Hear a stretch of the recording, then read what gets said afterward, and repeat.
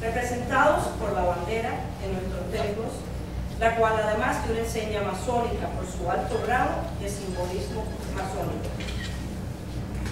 Queridas hermanas, nuestra enseña nacional se encuentra en de columnas. símbolo de Augusto de nuestra patria. Fue diseñada por un masón libre de preceptos heráldicos, Miguel de Humberto Fue enarbolada en la ciudad de Cárdenas en el 1850 por un ilustre masón, Narciso López. La primera asamblea constituyente de Guaymaro la declaró símbolo de la Revolución Redentora, con la anuencia de un gallardo masón, Ignacio de la Monte y Ignacio. Fue paseada triunfalmente desde Oriente hasta Occidente, por el brazo glorioso de otro insigne masón, Antonio Maceo y Grajales. Obligó la de Managua a las tres grandes luces de la epopeya del 95, Martín Gómez y Maceo.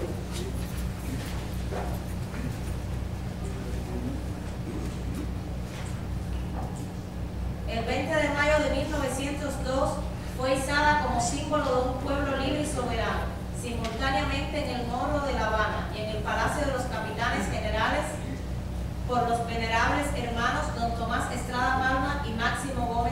Paz, respectivamente. Tres son sus franjas azules, que junto a las dos franjas constituyen cinco, que con el triángulo y la estrella hacen un total de siete para hacerla justa y perfecta. Sus franjas azu- azules son símbolo de ciencia, virtud y belleza, y sus franjas francas son emblema de pureza y de justicia. Su triángulo es símbolo de democracia. Está constituido por tres principios masónicos, libertad, igualdad y fraternidad. Sus colores, los de la República, y su estrella solitaria representan nuestra independencia. Nuestra enseña nacional es por lo tanto una enseña masónica. Amarla, reverenciarla, honrarla y defenderla es nuestro deber. Hermana Banderada, favor de regresarla a su sitio.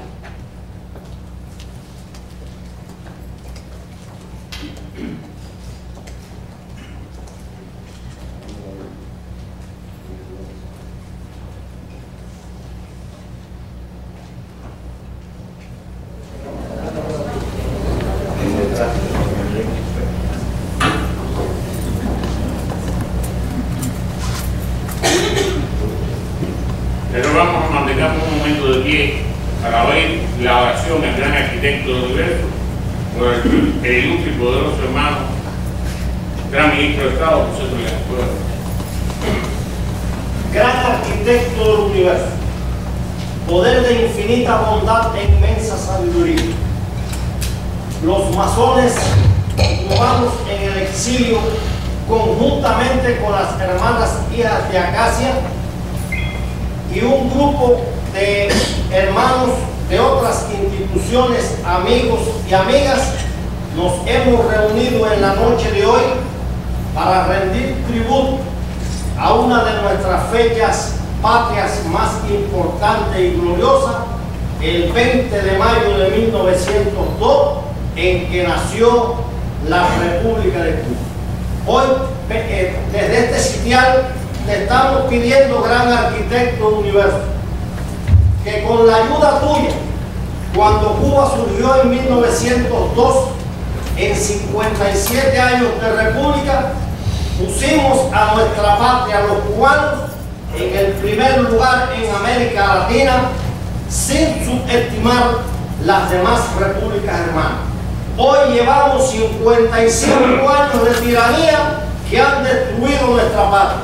Y por eso, en esta fecha tan significativa y gloriosa para todos los cubanos, te estamos pidiendo que cuando sea tu voluntad, tengamos otro 20 de mayo.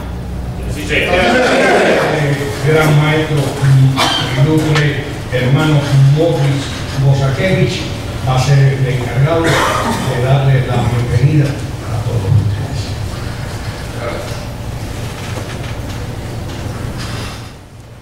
Nos decía en una noche hace poco el ilustre poderoso soberano gran comendador,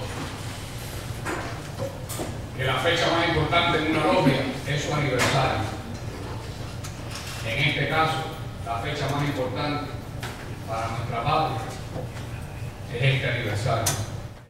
Y la gran logia unida de cubanos en el exterior quisiera llamar al hermano Rojas Taberna. Un, un momentico, por favor, nos permite, quisiéramos entregarle como maestro masón que acabamos de, de ver que se hizo maestro masón antes que yo naciera y le agradecemos que está aquí por nosotros.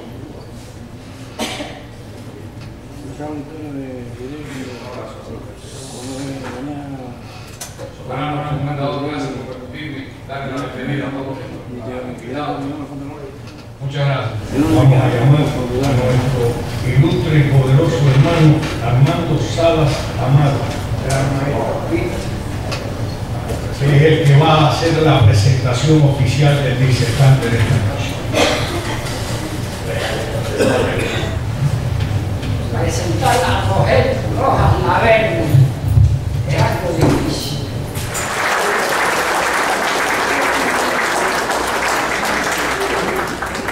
Siempre hay un día de frío y nostalgia en que vamos sonámbulamente caminando por tierras extrañas, con la patria clavada en los ojos y soñando como Heredia con todas las palmas y mordiendo el deseo de morir en la tierra sagrada.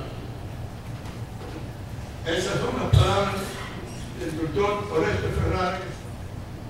Vengo de lejos, hoy día, sin importar los años, por ver a la patria mía con dolor de tantos años.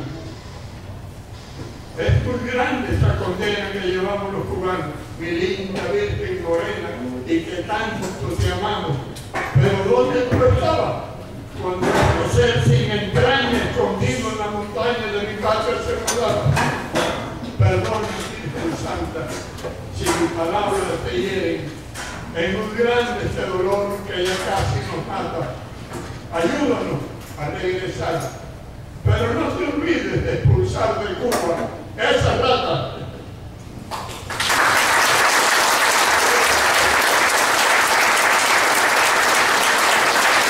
Y tenía en su mente la bandera cubana. Llegó y le dice, dibujante, haga un cuadro y póngale un triángulo en el centro para que sume siete. Y con los colores que él Emilia cosió la bandera cubana, esa misma que estamos usando hoy aquí. Emilia fue la primera mujer en el mundo que cosió la bandera cubana. Agustín Acosta, acuérdense de aquellos versos de él. Cuando agitas tu señal, sueño eterno de Martín, tal emoción siento a mí, que indago al celeste velo, si el cielo surge de ti o tú surges del cielo.